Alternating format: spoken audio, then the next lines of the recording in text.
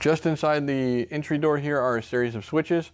We'll start right here down at the bottom of your main power switch. So the main power switch is what controls the 12 volt to the inside of the coach. This will turn your lights on and off or your multiplex system here. It allows you to have power to the switch so you can use it.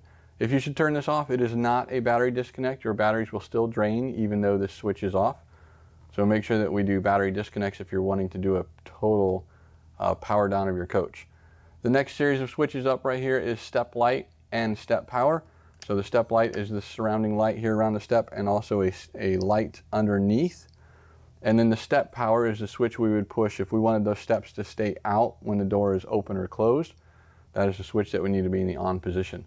With this switch here is the multiplex switching and the multiplex switch has several things on it. There's a panel light, your cargo locks, um, awning lights, and there is a PS and a DS passenger side versus driver side. Anywhere you see an arrow on any of these multiplex switches within the coach, that means it dims.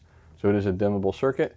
And anywhere you would see a P or an H, anywhere in the coach on one of these switch panels is a dual function switch. So it means press and hold. If you press it one time, it does one function. If you press and hold it, it will do multiple functions. One thing to note here on the Light Master, this does have a memory.